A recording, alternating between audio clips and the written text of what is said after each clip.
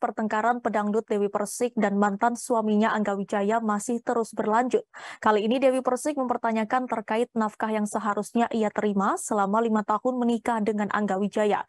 Tidak hanya itu, Dewi Persik turut meragukan soal kejujuran dan keterbukaan Angga selama menjadi manajernya. Pemilik nama lengkap Dewi Muria Agung ini turut menuding Angga Wijaya mengambil keuntungan dari bayaran pekerjaan yang diterima dari klien.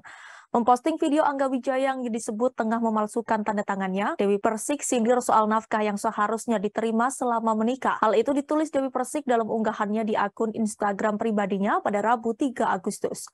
Menurut wanita yang akrab disapa DP ini, dirinya berhak marah sebagai istri Angga kala itu.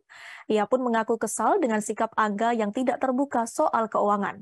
Apalagi selama menikah dengan DP, Angga turut menjadi manajer sang pedangdut.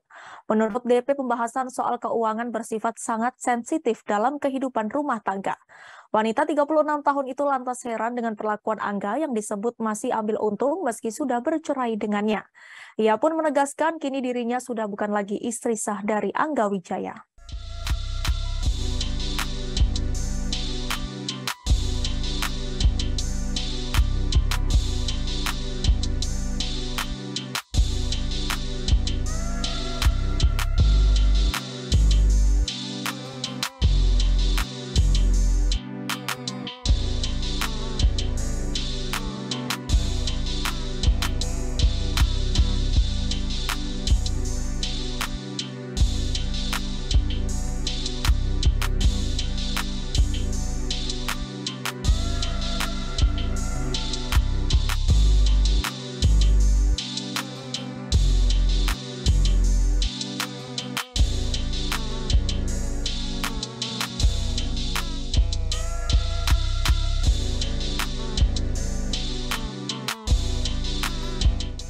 Jangan lupa like, subscribe, dan share ya.